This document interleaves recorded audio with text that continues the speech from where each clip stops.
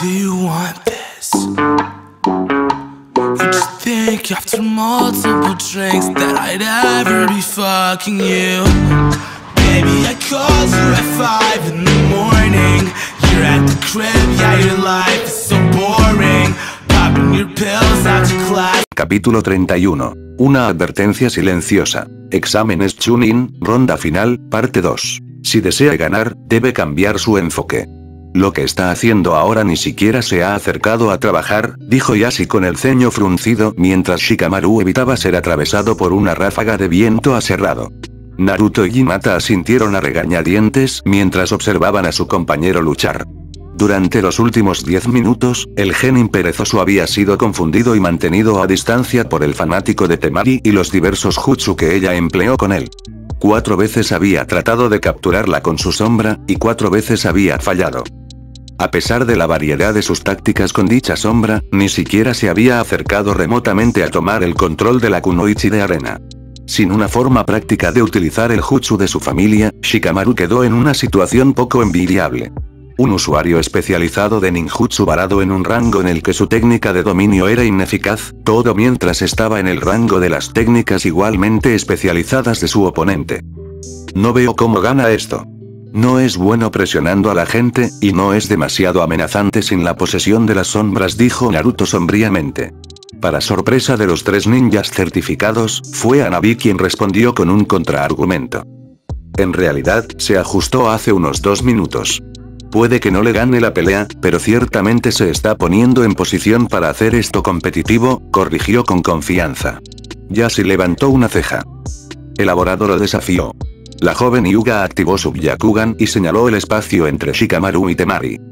Lento pero seguro, ha estado avanzando poco a poco. Cada vez que esa chica desata una explosión de su abanico, deja de hacer cualquier cosa durante unos 4 o 5 segundos antes de atacar de nuevo. Ella notó su ajuste de inmediato, y ha estado retrocediendo lentamente para mitigar, pero ha olvidado un detalle importante de su aspecto, explicó. Naruto, y Ashi fruncieron el ceño y miraron la arena por un momento antes de que la respuesta a la pregunta no formulada apareciera en ellos. La pared. Él está tratando de atraparla. Puede llevar un tiempo, pero si puede sobrevivir al viento, la espalda de Temari-san tocará la pared eventualmente dijo Hinata, una sonrisa formándose en su rostro mientras apreciaba la simple desmotivación de su camarada. Tácticas aún sutiles. Naruto le dio a Anabi una sonrisa. No está mal, chico. Lo descubriste antes que nosotros, felicitó. La niña sonrió orgullosamente y se recostó en su asiento. Aprecio los elogios, pero no empieces a celebrar. Ni siquiera sabemos si va a funcionar. Shikamaru apretó los dientes y dio otros cinco pasos hacia adelante cuando Temari reunió su chakra para asaltarlo con el aire que respiraba.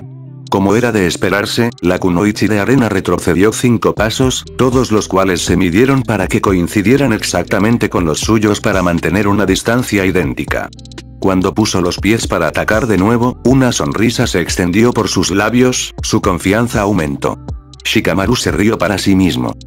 La pobre no tiene idea de lo que le espera. Casi me siento mal, pensó mientras se preparaba para evadir la inevitable ráfaga de viento lo mejor que podía. Cuando llegó, saltó a su derecha. A pesar de su maniobra, el lado izquierdo de su rostro se abrió por debajo de su ojo izquierdo, enviando un chorro de sangre por su mejilla y mentón. El usuario de la sombra hizo una mueca y se puso de pie para continuar su avance meticuloso hacia su enemigo. No puedo permitirme estar más que pastada por ella. No puedo sentir mi cara en absoluto, y apenas me tocó se lamentó mientras salía corriendo, su paciencia finalmente había llegado al final de su vida útil. Temar y frunció el ceño y se preparó para atacarlo previsiblemente con su abanico. Nunca te tomé por el tipo suicida, pero supongo que la apariencia puede ser engañosa. Ella gritó mientras desataba otra ráfaga de viento para interceptarlo. A medida que el aire se acercaba, Shikamaru respiró hondo y concentró su chakra en sus piernas. Aquí no pasa nada, pensó para sí mismo. En una rara hazaña de atletismo y control de chakra, el Nara saltó hacia arriba, apenas despejando la tormenta de viento que arrasó el campo de batalla. Mientras se estrellaba hacia la tierra, Shikamaru miró a Temari, quien lucía sorprendido. Cuando entró en contacto con el suelo, el usuario de la sombra rodó hacia adelante para disminuir la intensidad del impacto. Una vez que estuvo de nuevo en posición vertical, corrió hacia Temari de frente, lo que la impulsó a retroceder para mantener el espacio. Sin embargo, después de no más de 10 pasos, retrocedió directamente hacia el muro de hormigón del estadio. Shikamaru inmediatamente se detuvo en seco e hizo una señal con la mano. Entendido dijo con una sonrisa mientras su sombra se conectaba con la de ella. La kunoichi de arena apretó la mandíbula y se tensó contra el jutsu, pero descubrió que sus esfuerzos fueron en vano. ¿Me estabas caminando de regreso a la pared, no? Ella preguntó a través de su frustración. Shikamaru asintió y se encogió de hombros, haciendo que Temari hiciera lo mismo. Sí. Sinceramente, estoy bastante sorprendido de que no lo hayas visto venir, sinceramente, respondió. El abanico suspiró e hizo otro intento de romper su control, sin éxito. Me drogué con la sensación de cortarte. Parecías y actuabas como un pato sentado, dijo. El usuario sombra suspiró y se inclinó. Sí, porque lo estaba. Estoy tan sorprendido como tú de que esto funcionó, dijo antes de hacer un movimiento de lanzamiento hacia arriba. Debido al jutsu que estaba abajo, Temari hizo lo mismo, lanzando su ventilador al aire en el proceso. El rectángulo de metal giró y se arqueó hacia la pared superior, finalmente chocó con él y se pegó a su lado. Suficiente pequeña charla. Tengo algunas preguntas para ti, y vas a responderlas, dijo el usuario en la sombra con firmeza, ganando una ceja levantada de Temari. ¿Y por qué debería escucharte? Lo único que tienes que amenazarme es una conmoción cerebral si eliges hacer que me golpee la cabeza contra la pared, y no podría responder a tus preguntas si yo estaba inconsciente, preguntó con escepticismo. Shikamaru le dirigió una mirada aburrida y buscó en su bolsa de kunai, produciendo rápidamente una cuchilla. Cuando la arena kunoichi hizo el mismo movimiento, salió con las manos vacías, ya que sus golpes estaban en lados opuestos. Eres un mocoso astuto Siseo Temari cuando se vio obligada a acercarse al usuario de la sombra debido a su propio avance. Una vez que estuvieron a aproximadamente un pie de distancia, Shikamaru presionó su kunai contra su garganta y apuntó con el pulgar hacia Lokage y Kazekage, que estaban sentados en una posición alta sobre la arena. ¿Quién demonios es ese tipo al que llamas Kazekage? Algo sobre él está muy mal, y me lo vas a explicar, ordenó. La kunoichi de arena frunció los labios y miró a la genin perezosa. No sé más ni menos sobre él que tú, respondió ella con tensión. Shikamaru aumentó la fuerza con la que estaba presionando su cuchillo contra su piel. ¿En serio? Pensé que se suponía que él era tu padre. De todos modos, esa era la palabra en la aldea, dijo. Los ojos de Temari se inundaron brevemente con una emoción parecida a la pena, pero rápidamente desapareció. Hay cosas en el trabajo aquí que están más allá de ti o de mí. Lo siento, pero no puedo decir nada más. Puedes seguir y matarme si quieres, dijo temblorosa. Shikamaru sintió que su sangre se enfriaba. Una disculpa, y algo similar a la sumisión. Algo está muy mal, pensó para sí mismo. Luego miró al Kazekage. Tengo la fuerte sensación de que sé lo que está pasando aquí. Quien quiera que seas, no estarás oculto por mucho tiempo, le prometió mentalmente al Kage. Luego volvió su atención a Temari, cuyos ojos estaban ahora bajos mientras esperaba lo que suponía que sería su fin. Limpia esa mirada de tu cara. No te queda bien, dijo Shikamaru mientras la liberaba de su jutsu debido a una mezcla de cansancio y simpatía. La cabeza de la kunoichi de arena se levantó cuando recuperó el control de su cuerpo. ¿Ku qué? ¿Por qué hiciste? Ella comenzó cuando Shikamaru se alejó de ella y asumió una postura de taijutsu. El genin perezoso respiró hondo y se limpió la sangre de la mejilla herida. Soy un idiota demasiado comprensivo. Por eso. Ahora cállate y ven a verme, respondió. A pesar de la gran cantidad de preguntas y el torbellino de emociones que circulaban por su mente, Temari obedeció y dio un paso adelante para atacar. Lo que siguió solo pudo describirse como una guerra de voluntades. Naruto, Hinata, Yashi y Abai miraban hacia la arena con los ojos muy abiertos y la boca abierta mientras Temari y Shikamaru intercambiaban golpes a un ritmo tórrido. Se habían previsto muchos escenarios diferentes para el partido, pero el que ocurrió no había sido uno de ellos. Creo que me estoy perdiendo algo aquí. ¿Por qué no la dejó inconsciente o la mató?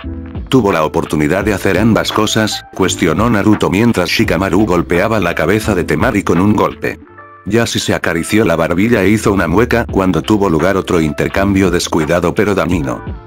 Tácticamente hablando, sin contexto, este giro tiene sentido en algún nivel. Temari-san ha sido separada de su fan, y Nara-san parece estar sin chakra. Ninguno de los dos tiene ninguna otra área de fuerza, dejándolos con solo su conjunto de habilidades auxiliares para confiar, que resulta ser taijutsu para ambos. Pero como dijiste, Uzumaki-san, Nara-san podría haberla acabado dos veces, y eligió no hacerlo, dijo el jefe del clan. Mata frunció el ceño. Parecieron intercambiar palabras por unos momentos antes de que Nara-san la dejara ir. No sé lo que se dijo, pero lo convenció de enfrentarse cara a cara, dijo. Anabi inclinó la cabeza hacia un lado mientras observaba la cerca de dos genin en el centro de la arena.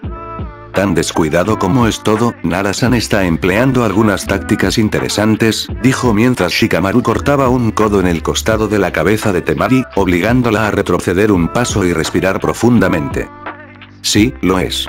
Está muy incómodo midiendo la distancia, y parece estar consciente de ello.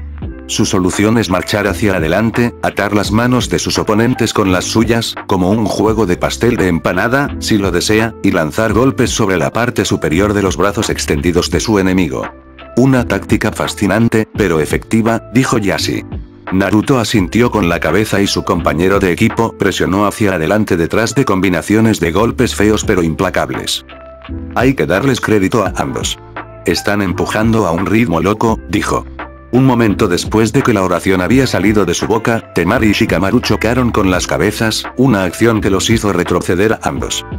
Esta es una pelea de perros, dijo Inata con una mueca. Aparentemente, la multitud en general estuvo de acuerdo con ella, ya que animaban en voz alta a los dos genin en guerra. La heredera luego activó su Byakugan y miró las reservas de chakra de su compañero de equipo. Será mejor que termines esto pronto, Narasan. El cuerpo siempre se rompe ante la mente. Shikamaru escupió sangre de su boca mientras rodeaba lentamente a Temari. Habían pasado aproximadamente 15 minutos desde que el usuario de la sombra había optado por liberarla de su jutsu, y ambos genin estaban ahora desgastados y maltratados. Shikamaru estaba sangrando profusamente por la herida debajo de su ojo izquierdo, y su boca goteaba sangre debido a una pequeña fractura en su labio inferior. Temari no fue menos visiblemente herida, con una letanía de contusiones y cortes cubriendo su rostro. ¿Valió la pena, Shikamaru? Dejándome ir, quiero decir. Claramente no estás disfrutando esto desde mi punto de vista. ¿Podrías haber terminado esto hace un rato? preguntó el fanático con un fuerte suspiro. Shikamaru suspiró y dio un paso adelante para atacarla una vez más. Ya te di una pista antes. Realmente no tengo ganas de explicarte más de lo que ya lo he hecho. Sería problemático, dijo mientras lanzaba un golpe con la mano derecha a la cara de Temari. La kunoichi de arena se agachó bajo el golpe y volvió a levantar la cabeza, golpeando la parte superior de su cráneo en su barbilla. El impacto abrochó a la genin perezosa momentáneamente, pero no lo suficiente como para evitar que la agarrara por la nuca y usar a la empuñadura para arrojarla al suelo. ¿Por qué no te rompes ya? Me dijiste que no te importaba si te convertías en un chunin o no. ¿Por qué te esfuerzas tanto? Temari exigió mientras lo intentaba y no pudo ponerse de pie después de rodar sobre sus manos y rodillas con Shikamaru agarrada a su espalda. El usuario de la sombra respondió colocando un brazo debajo de su barbilla y sujetándole el cuello. Porque ya no se trata de promociones. Sabes tan bien como yo que algo más grande se avecina, le susurró al oído mientras cerraba la vía aérea. Temari luchó contra el dominio absoluto, pero pronto sintió que sus sentidos comenzaban a apagarse a medida que el mundo a su alrededor se volvía borroso. Después de unos pocos segundos, se quedó sin fuerzas. Shikamaru luego liberó su cuello de su agarre y suavemente la recostó sobre su espalda. Llama al partido, Genma. Está fuera de combate llamó al supervisor, que se dirigía hacia el fanático inconsciente. Una vez que la alcanzó, le hizo una inspección superficial y agitó los brazos sobre su cuerpo. Temari de la arena está inconsciente. Shikamaru Nara es el ganador. Anunció, provocando un rugido de aprobación de la multitud.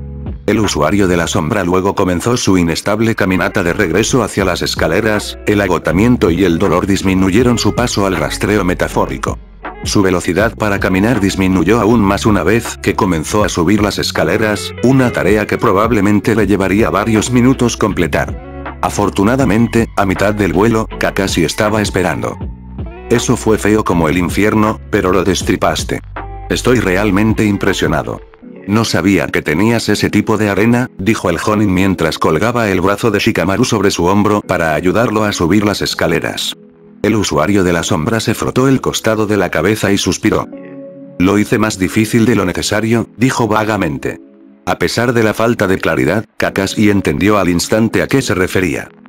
¿Les importaría explicarme por qué la dejaron ir? Tenían poco chakra, pero no se estaban quedando vacías cuando la soltaron. Ustedes dos también parecían tener una conversación antes de que comenzara la pelea. ¿Qué se dijo? Preguntó. Shikamaru inmediatamente se tensó un poco, pero rápidamente se relajó y organizó sus pensamientos. Algo terrible está a punto de suceder. El caos está a punto de desbordar esta aldea. Estoy seguro de que ya lo has notado, pero el Kazekage no es lo que parece. Algo sobre él está mal. No sé lo que es, pero sé que no me estoy imaginando esto. Todo eso contribuyó a por qué dejé ir a Temari cuando podría haberla matado o noqueado. No la maté porque me sentía comprensivo. Ella tiene una oportunidad de pelear por capricho. Aposté a la idea de que podría vencerla en un combate de taijutsu, explicó. Su maestra asintió. Sí, he tenido la misma sensación desde el momento en que comenzaron las finales. Algo está en marcha. En cuanto a tu razonamiento para alargar el partido, entiendo por qué lo hiciste, pero no puedes dejar que tus sentimientos personales interfieran. Todavía ganaste, así que no importa exactamente en este caso, pero no dejes que la simpatía enturbie tu juicio en el futuro, dijo Kakashi con firmeza. La pareja llegó a la cima de las escaleras, donde Shikamaru hizo una pregunta. ¿Crees que Okage-sama es consciente de la perturbación? Preguntó. El ninja de cabello plateado asintió con confianza y miró hacia el otro lado de la arena, donde Hiruzen se sentó junto al Kazekage. Si tú y yo nos hemos dado cuenta, entonces él también. La mejor pregunta es qué planea hacer al respecto.